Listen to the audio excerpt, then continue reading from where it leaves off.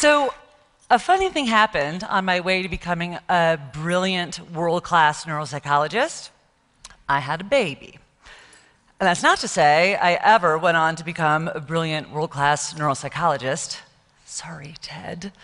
Uh, but I did go on to be a reasonably astute, arguably world class worrier. One of my girlfriends in graduate school, Marie, said, Kim, I figured it out. It's not that you're more neurotic than everyone else, it's just that you're more honest about how neurotic you are. So, in the spirit of full disclosure, I brought some pictures to share. Oh. I'll just say July.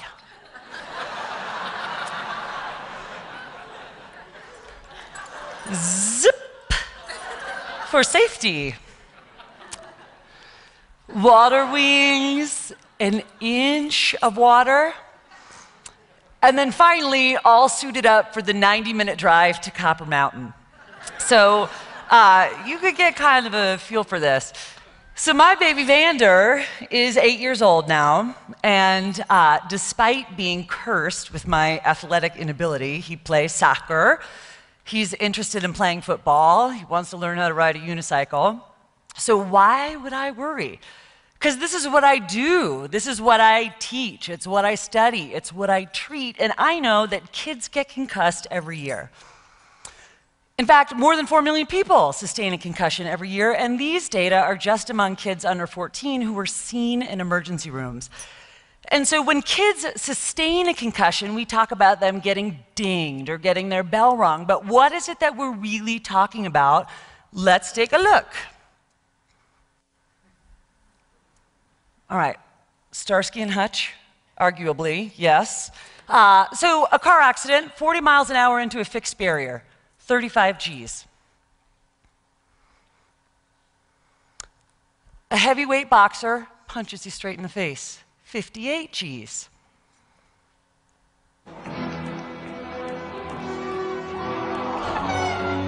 In case you missed it, we'll look again. So look to the right hand side of the screen.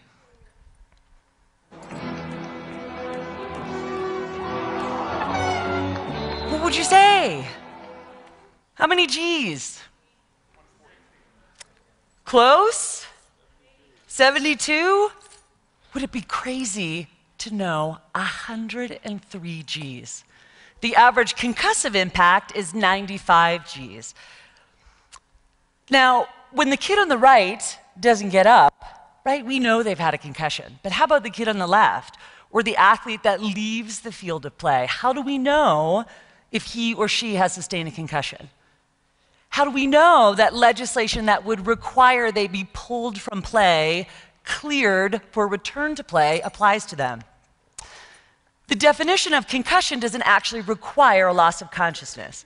It requires only a change in consciousness, and that can be any one or a number of symptoms, including feeling foggy, feeling dizzy, hearing a ringing in your ear, being more impulsive or hostile than usual. So, given all of that, and given how darn neurotic I am, how do I get any sleep at all? Because I know our brains are resilient. They're designed to recover from an injury. If, God forbid, any of us left here tonight and sustained a concussion, most of us would go on to fully recover inside of a couple hours to a couple of weeks.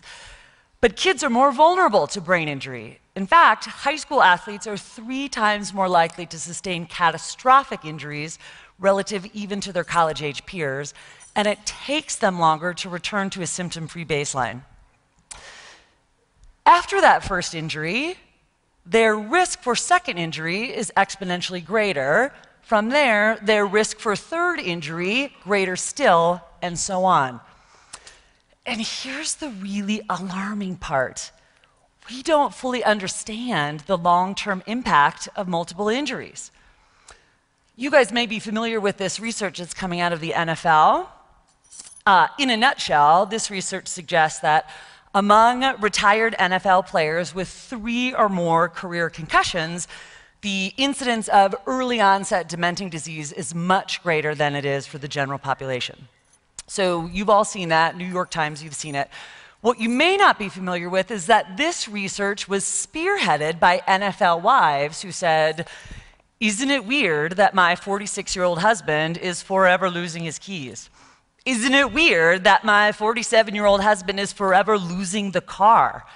Isn't it weird that my 48 year old husband is forever losing his way home in the car from the driveway? So I may have forgotten to mention that my son is an only child. So it's going to be really important that he be able to drive me around someday.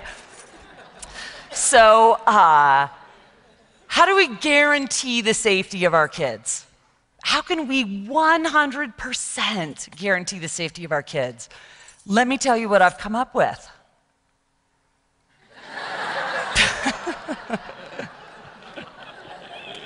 if only my little boy's right there, and he's like, she's not kidding. She's totally not kidding. So, uh, in all seriousness, should my kid play football? Should your kid play football? I don't know. But I do know there are three things you can do. The first, study up. You have to be familiar with the issues we're talking about today. There are some great resources out there. The CDC has a program, Heads Up. It's at cdc.gov. Heads Up is specific to concussion in kids.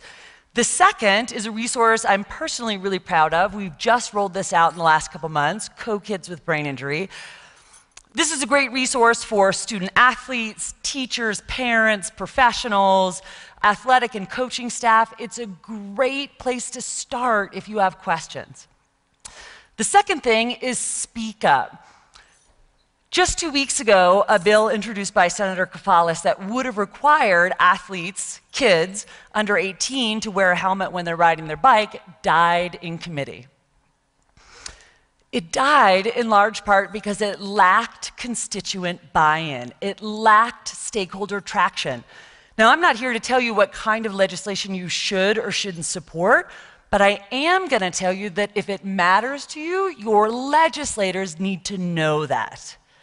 Speak up also with coaching staff. Ask about what kind of protective equipment is available. What's the budget for protective equipment? How old is it?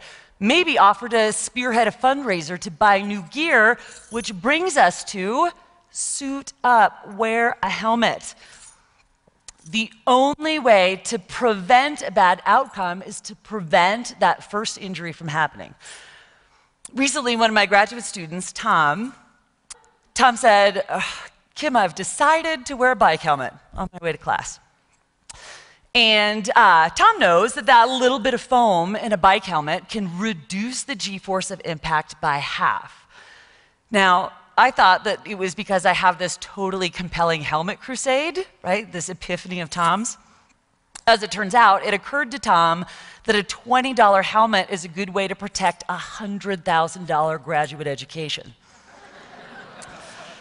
So, should Vander play football? I can't say no, but I can guarantee that every time he leaves the house, that kid's wearing a helmet. Like to the car or at school. So, whether athlete, scholar, overprotected kid, neurotic mom, or otherwise, here's my baby Vander reminding you to mind your matter. Thank you.